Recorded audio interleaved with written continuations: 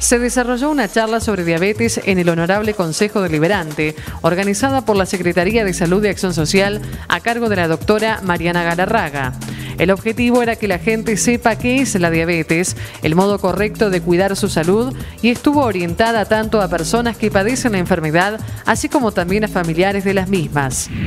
Transmitirle un poco lo que yo hago con un paciente cuando lo veo por primera vez y tengo que explicar qué es la enfermedad y qué cosas quiero que, entienda esa persona para poder llevar adelante el tratamiento sin problemas.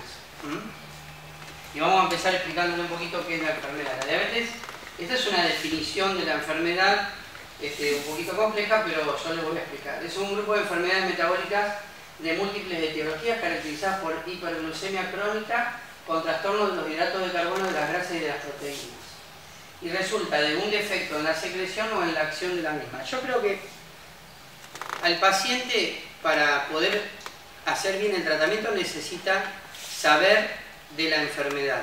Esto no es la idea que sean expertos en diabetes, sino que sepan y tengan el conocimiento de, este, qué es lo que le pasa a mi cuerpo, por qué tengo la enfermedad, porque entonces sabiendo a partir de ahí podemos actuar y saber que cuando este, hago cuando camino, por qué camino, cuando hago la dieta, por qué tengo que hacer la dieta y cuando tomo el medicamento, por qué tengo que tomar el medicamento y en qué horario del día tengo que tomar el medicamento.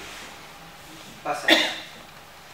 Este, el diagnóstico, vieron que muchas veces me ha pasado de que nos pasa a los que trabajamos en esto, de que viene una persona asustada y nos dice, este, Vengo doctor porque me dijeron que tengo diabetes, tengo 130. Me pinchó mi vecino que es diabético y tengo 130. Y tengo diabetes, entonces empecé a tomar metformina, porque es lo que toma mi vecino. Bueno, no es tan así. Con un solo control de glucosa no se hace el diagnóstico de diabetes. Para poder hacer el diagnóstico de diabetes tengo que tener dos controles más de 126 de glucemia en ayunas, y es la glucemia plasmática, no la glucemia del aparatito. La glucemia del aparatito nos da un valor este, distinto al de la, a la glucemia de la sangre. Es diferente, una es glucemia capilar y otra es glucemia plasmática.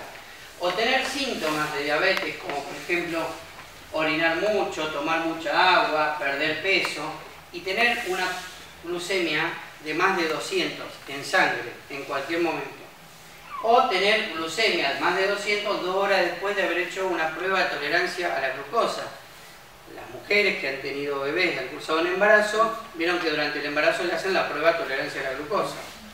Bueno, es para diagnóstico de enfermedades. Una forma de diabetes se llama diabetes gestacional. ¿Sí? Sí, pasa.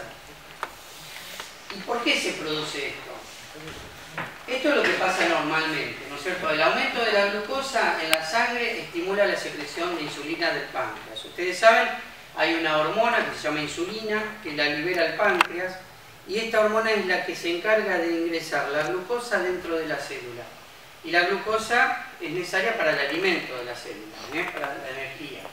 Entonces, cuando hay aumento de la glucosa, aumenta la liberación de insulina, y estas dos estimulan también la captación periférica de la glucosa en los músculos y en el tejido adiposo, o sea en la grasa, e inhiben la salida de glucosa desde el hígado.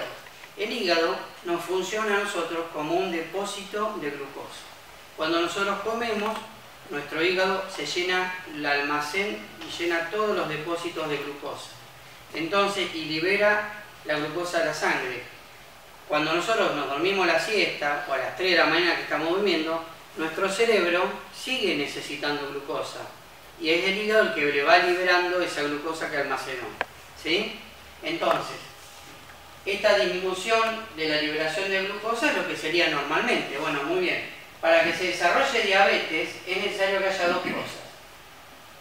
Que la insulina a nivel periférico no actúe como tiene que actuar o sea, eso se llama insulinoresistencia.